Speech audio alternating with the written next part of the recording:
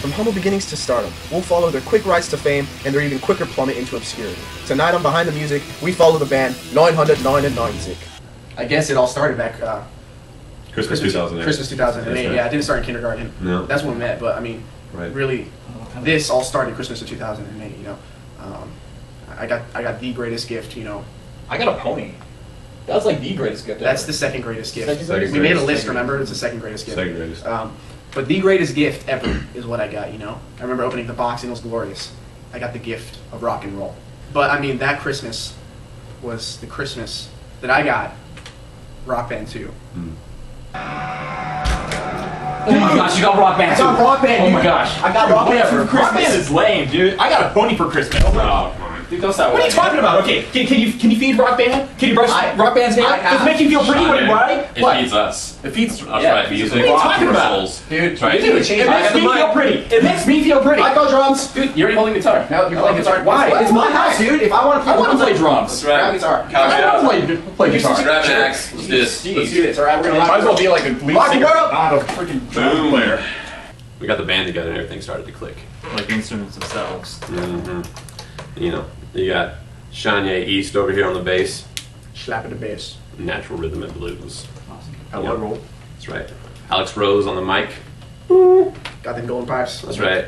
You know, course, Jimothy Bendrix on the sticks. Slapping the skins. Surprisingly good. Deceptively good. Mm.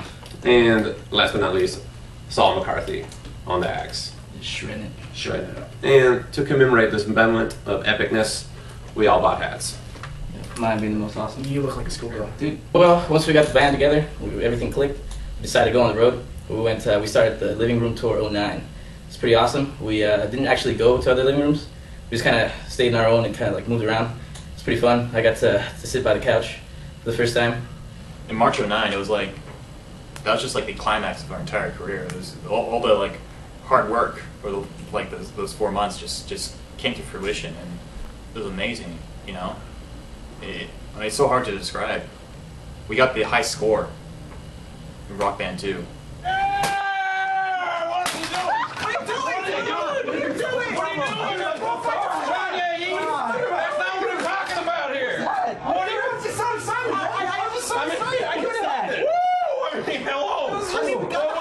But you totally ruined my guitar. Paid Dude, I was just want to pay you back, man. I paid six. Dude, dude, do you realize we got the high score? We're famous now. But now we we can sold. We can buy fifty of these, man. Now we can't play for a week.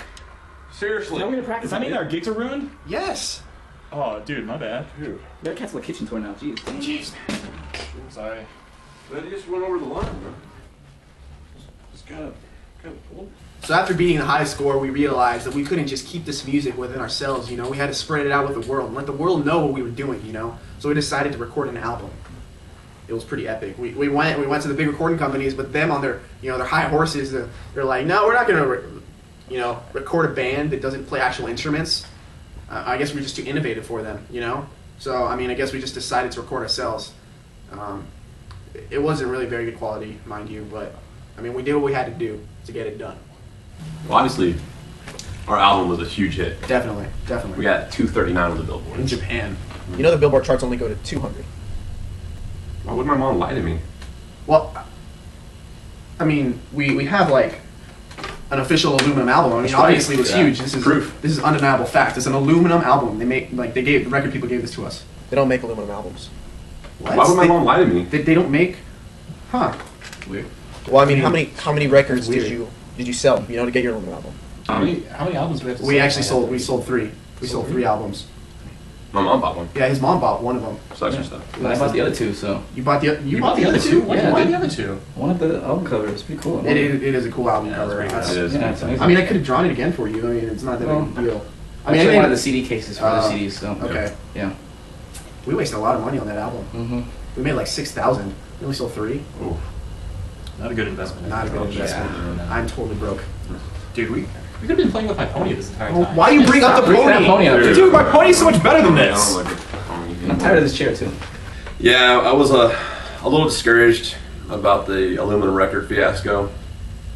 Yeah, well, we got innovative, found new ways, vid- venues, mediums of promoting our music. You know, came up with the idea, hey, let's send an audition tape to MTV. Have an MTV Unplugged special featuring us. That's right. They haven't got back to us yet. Following the MTV fiasco, the band fell into many of the other same woes that befall other bands on the decline excess, addiction, and hideous clothing. However, it was excess and addiction that ultimately led to the band's decline. Yeah, after the rejection from uh, MTV Unplugged, uh, Jimothy started hitting the cheese puffs pretty hard. It affected the band in a big way because uh, he would leave cheese puff residue all over it and it would mess with the instruments. It was kind of gross and sticky, and that was just not good. It just it shut down morale. Jimothy, he was just going too crazy with the cheese puffs. Cheese puffs. I mean, he was just like always missing band practice and stuff like that because he was always at like the 99 cent store, just like buying cheese puffs and all. And like, um, we there was no way for us to like fund any of our gigs or go on tour or anything like that because he just kept on pouring all of our cash into the his his addiction. Did the guys tell you I had a cheese puff addiction? They're totally blowing that out of proportion. I mean, I don't have a problem. I can, I can stop anytime. You know, I mean, it's just cheese puffs. Um, I can stop anytime. You don't believe me? Why don't you believe me? I don't have a problem. And in the end, it was Cheese Puffs that led to the band's breakup, and they each went their separate ways. Yeah, so when the band broke up, I went solo. You know, I felt like it was in the best interest of my music career to uh, to do so, and uh, I discovered I, I don't know how to play the guitar.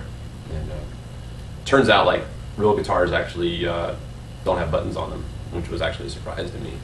Uh, and uh, definitely found that to be a roadblock for my success. But you know, I'll uh, I will survive. You know, and uh, I will lean on others when when I'm not strong. Yeah, well, the band broke up, so the first thing that came to my mind is that I had to find a job, make some money. So I actually found one at Jack in the Box. I am the assistant to the assistant manager in charge of French fries. It's pretty awesome. I'm moving on up, getting a slice of that pie. It's pretty cool. Uh, hopefully, you know, I'll be in charge of the cash register one day. They don't let me touch it. They're kind of afraid of me for some reason, but it's cool. um, everyone took a break with the band pretty like like hard. Uh, for me, it was financially uh, between like investing into the seven thousand albums that we got uh, and trying to upkeep my pony um, afterwards. I, there's just no way I could keep it, so we had to put her down. I ended up having to move in with my parents, and uh, it's kind of like lonely there. I just I just wish someone would come and knock on my door. You know, I've been waiting for you. When the kisses are like hers and hers and his, Three's Company too. So after the band broke up, I, you know, I took it really hard. I went into a deep depression. Um, I started to eat my feelings. I gained 400 pounds in two weeks, and um, you know, it got really bad. Um, but the good news is that I did lose 400 pounds on Nutrisystem. So uh, throw that plug in there. Um, I, you know, I just had to come to the realization that you know I have to take the good and take the bad, and, and when you take them both, there you have the facts of life. Um, you know, that's a fact of life. Um, you know, uh, things looking up for me though. You know, I, I recently got a degree uh, online. I paid fifty dollars for it. Um, it's coming in the mail tomorrow. I'm gonna open up a, a, law firm specializing in pet law. So I'm gonna represent dogs and cats.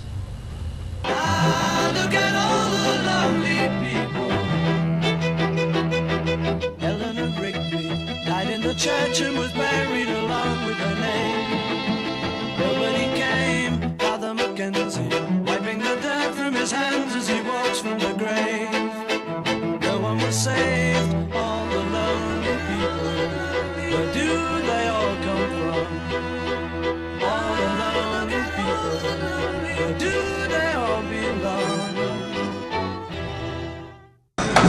There was 42 disciple band, and the music sick, and the music was loud.